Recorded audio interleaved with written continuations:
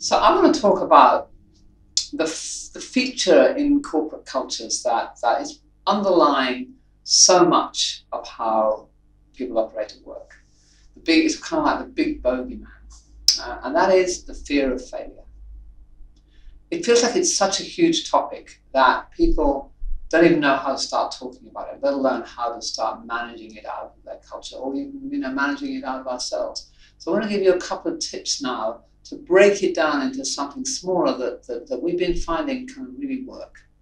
And the first piece is to say that if you actually think about a failure, the number of times that somebody really fundamentally fails is quite rare.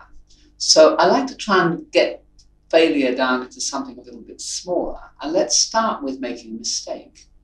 Because ultimately, a failure is going to be made up of hundreds of mistakes. And when people are not happy about failure, they're not comfortable with talking about failure because of the fear of failure, it actually becomes your weakest area. What you're afraid of, you get weaker at because you don't practice it. You don't feel comfortable with looking at it and doing something about it and building more strength around it. So if you break it down into like lots of little mistakes and start learning how to talk about mistakes, you start to undo some of the, the, the, the, the cap that is on this bottle, which is called the fear of failure. But even mistakes become something that are quite hard. So let me give you even, even smaller ideas. So let me tell you of a, a terrible mistake that I made the other day.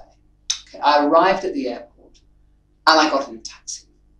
And as I was halfway to the venue to run this workshop, I remembered that the client had said that they had ordered a car for me. So then somebody rang me up and said, Oh, the driver's waiting for you, where are you? And I went, Oh my God, I'm so sorry, I called taxi. Now that is such a small mistake. And yet, what I'm finding is that when I ask people to go around a room and talk about the little mistakes that they're made on a daily basis, people are just not used to doing that. So there is a technique that I like to use, which is to get people to talk about the small mistakes. And then I'll up the ante a bit. So then I'll say, well, you know, I was giving feedback to this client the other day and I just went too far and she got really defensive. And as a result of her getting really defensive, now she doesn't want to work with us anymore and we're probably going to lose, you know, a few hundred thousand dollars worth of revenue. Like, okay, now we're starting to talk about mistake that's maybe a little bit bigger. But unless I can talk about that every day, how are we ever going to get better? You know, you look at I don't know, basketball players, you look at, you know, when, when, when at the end of any game, they all sit there and do an analysis. And the analysis about we could have done this better, we could have done that, we could have done the other. So the technique for starting to get on top of fear of failure is to get used to talking about mistakes. And here are just some really simple phrases that you could start doing that. Okay, I did not anticipate, blah, blah, blah, blah, blah, blah. I forgot something, something, something. I said something and it didn't go down well.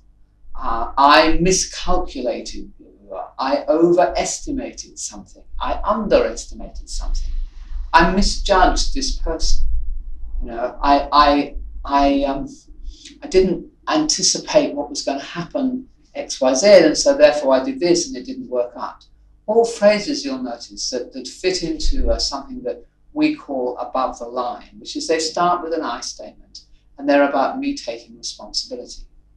So, the technique I would encourage you to use to just start to lance this boil, which is called fear of failure, is to practice talking about small mistakes with I statements and start them with some of those words. I didn't anticipate, I misjudged, I made, made you know, my mistake, I said this, I didn't say that, whatever.